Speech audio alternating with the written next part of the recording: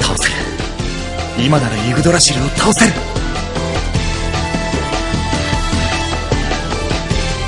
盛り上がってるとこ悪いんだ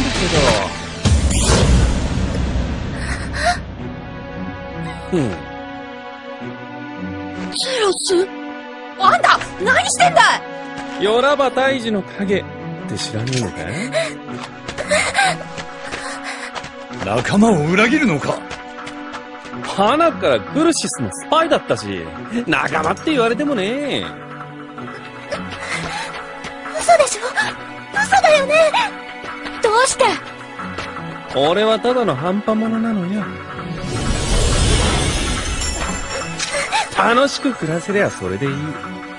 文化も文明も違う二つの世界が一つになったらそれこそ問題山積み巫女様のお気楽な生活が台無しになっちまうでしょうが見損なったぞ。ミコあんたってやつはいい加減だけどいいところもあると思ってたのに。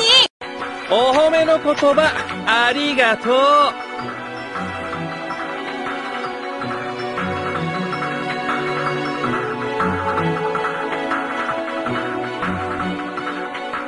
なんだ。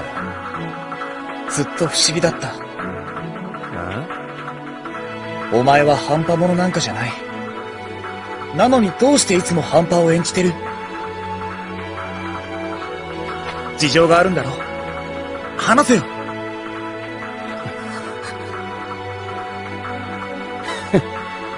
バカじゃねえの？コレットそろそろ行きましょうよ。ユーグドラシル様